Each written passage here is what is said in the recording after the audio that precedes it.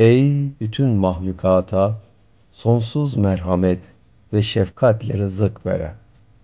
Ey her varlığa merhametle pek özel ihsanlarda bulunan Rabbimiz. Unutursak veya hataya düşersek bizi sorumlu tutma. Ey Rabbimiz! Bizden öncekilere yüklediğin gibi bize de ağır bir yük yükleme. Ey Rabbimiz!